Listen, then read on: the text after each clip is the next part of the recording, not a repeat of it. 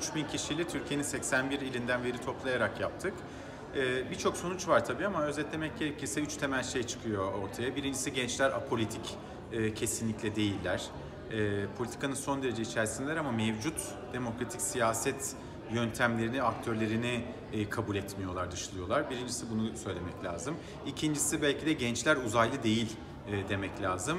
Yani çok böyle değişik, çok farklı bir gençlik e, anlatısı e, hakim e, şu anda. Türkiye'de ve dünyada aslında. Ama e, tabii şunu görüyoruz ki gençler de içinde yetiştikleri toplumun belirli e, unsurlarını e, taşıyorlar ve içselleştirilmiş vaziyetteler.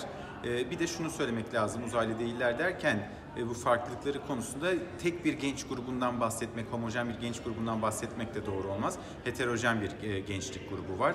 Dolayısıyla siyasayı belirlerken bu farklılığı e, farkında olmak lazım. E, üçüncüsü de gençler umursamaz e, değiller.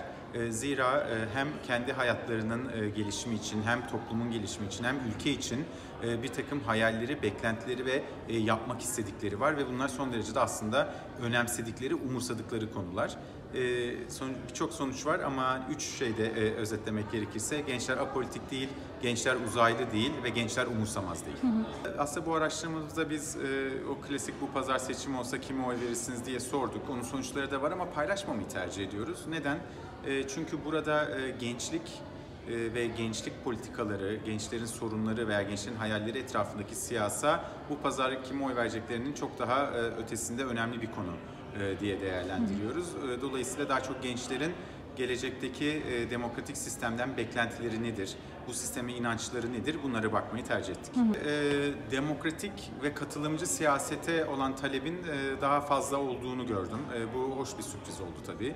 E, çünkü sadece Türkiye'de değil, dünyada da e, özellikle e, neoliberal ekonomik sistemin e, ürettiği e, memnuniyetsizlik diyelim, e, hayal kırıklığının bedelini katılımcı demokrasi e, tik kurumlar aslında ödüyor. Çünkü sonuç itibariyle bu faturanın yükü o kurumlara yükleniyor ve bir sisteme ve demokratik sisteme olan inançta azalma olduğunu biliyoruz. Fakat bizim e, örneklerimizin %66'sının e, otoriter bir e, sisteme e, göre e, katılımcı, çoğulcu bir demokratik sistemi tercih ettiği e, sonucunu gördük. Bu da e, hem e, bir nebze şaşırtıcı bir yandan da memnun edici bir sonuçtu.